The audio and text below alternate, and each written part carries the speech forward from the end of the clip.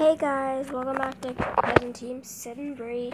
Today I'm gonna make butter slime. So over back there, I have borax and I mean, well, laundry detergent and itty tidbit of water in there and mixed with some glue and I'm letting that sit and then it'll form putty.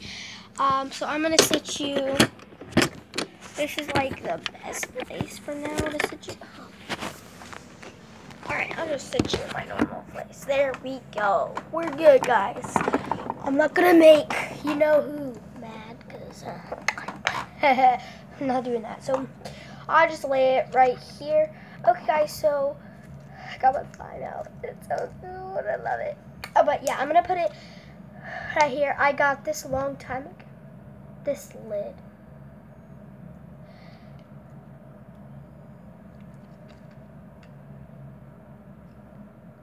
The lid was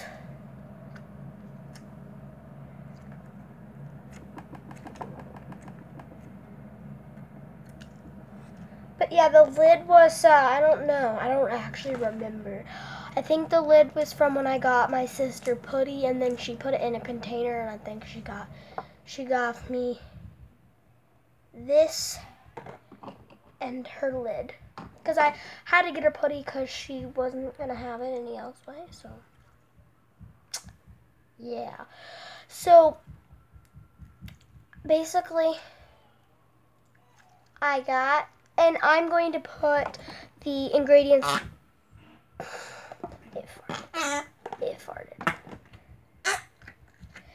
Yeah, I'm going to put the links down. I'm going to put the link in the description on the ingredients for this. But yeah, that was just how to make butter putty slash slime, whatever you want to call it. But yeah, don't forget to like and subscribe to Cousin James and You know I care. Peace out. Boom.